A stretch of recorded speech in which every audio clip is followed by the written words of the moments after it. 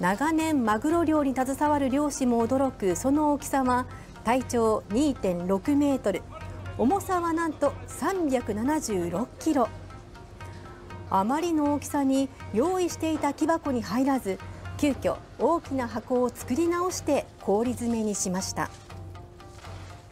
これほどのっていうかもう本当にびっくりして今後漁師生活の励みになるんではないかと。しかまさかこんなのが来てくれるっていうのは本当にお年玉をもらったような気持ちでございます。漁業関係者の喜びで熱気に包まれた港。今日水揚げされたマグロは豊洲市場に送られあさって競りにかけられるということです。